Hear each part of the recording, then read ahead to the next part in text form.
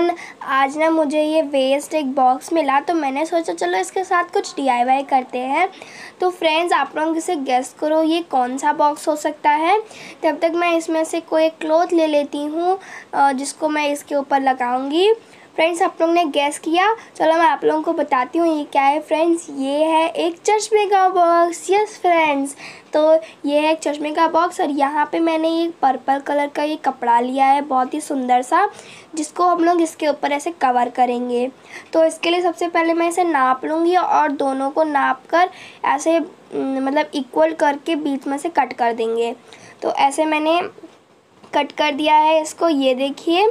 तो हमारे दो पीसेस कट हो गए हैं तो पहला पीस लेंगे और ऐसा हम रखेंगे इसको कवर को और इस पे ऐसा है जहाँ पे इसकी चेन है ना, वहाँ से इसे ऐसे करके लगा कर देखेंगे। तो इसे इसे हम लोग क्या करेंगे ना, फैब्रिक ग्लू की हेल्प से पेस्ट करेंगे। तो फैब्रिक ग्लू से हम लोग पहले लगाएँगे और इस कपड़े को पेस्ट करेंगे। तो चलिए हम लोग अपने कपड़े को पेस्ट करते हैं।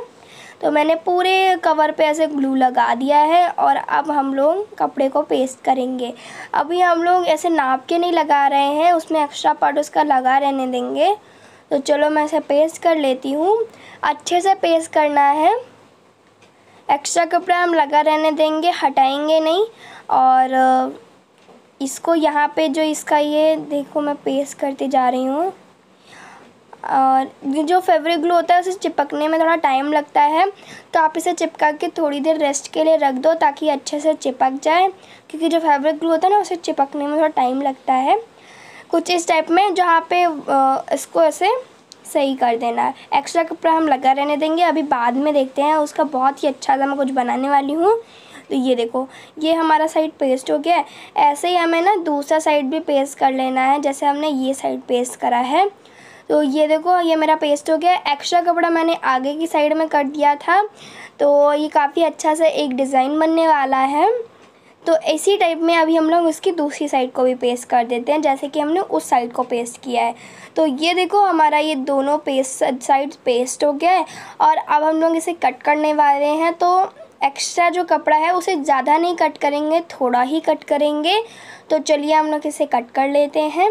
तो ये देखो, मैंने इसे कट कर लिया है, जो भी ज़्यादा एक्स्ट्रा कपड़ा था।